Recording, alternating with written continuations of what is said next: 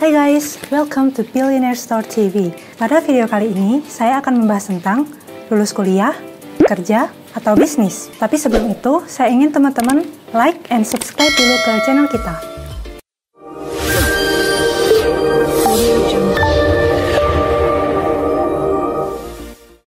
Oke, okay, let's say teman-teman sekarang udah lulus. Nah, selanjutnya mau ngapain nih?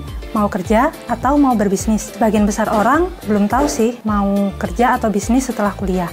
Tetapi yang salah adalah ketika teman-teman tidak mau mencari tahu. Masalahnya lagi, banyak orang yang nggak tahu cara mencari tahu passion dari diri mereka sendiri. Pada video kali ini, saya akan membahas tentang hal tersebut. So, simak terus ya videonya. Cara menemukan passion teman-teman ada dua. Yang pertama, adalah mencoba semua hal yang berpotensi membuat teman-teman merasa happy. Dan yang kedua adalah mencoba semua hal yang berpotensi membuat teman-teman merasa menyesal jika teman-teman tidak mencobanya. Hmm, contohnya saya sendiri. Ketika saya SMA, passion saya adalah menulis dan biologi. Maka dari itu, saya suka mengikuti Olimpiade Biologi dan mengikuti lomba menulis. Setelah lulus SMA, passion saya berubah menjadi making money online. Pada saat itu, saya mendaftarkan diri sebagai Google AdSense Publisher.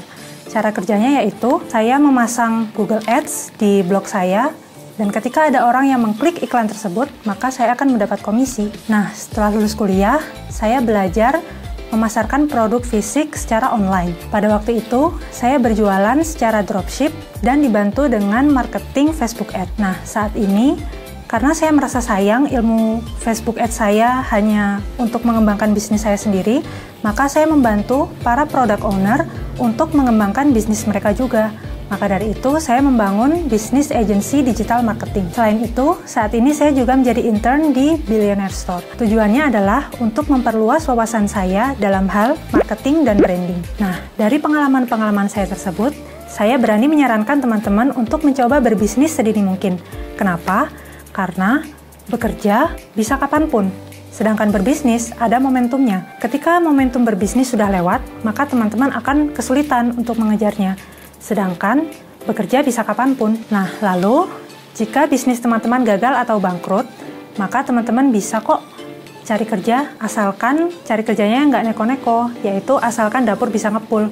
Saya juga pernah mengalaminya. Ketika saya kehabisan modal untuk berbisnis, saya lalu mencari kerja menjadi CS di toko online milik teman saya sendiri. Tetapi, ketika timing yang sudah pas, saya bangkit lagi dan memulai usaha saya dari nol. Keuntungan berbisnis, terutama bisnis online, adalah tempat dan waktu yang fleksibel. Maksudnya, teman-teman bisa bekerja dari mana pun dan kapan pun. Tapi, bukan berarti cepat kaya ya. Teman-teman tetap harus kerja keras dan kerja cerdas. Jika teman-teman masih kebingungan untuk memulai bisnisnya, teman-teman bisa gabung di media-media Billionaire Store yang ada di description box di bawah. Nah, kesimpulannya, cobalah sebanyak mungkin hal baru dan segerakan. Tidak ada kata terlambat untuk mencoba. Saya di umur 25 tahun ini juga masih suka kok mencoba hal baru dan yang paling penting, no regret. Jangan sampai ada penyesalan di kemudian hari. So, selamat mencoba guys dan semoga sukses. Oke, sekian dulu sharing dari saya. Tapi sebelumnya, jika video ini bermanfaat buat teman-teman, please like, subscribe, comment, and share to your friend. Bye!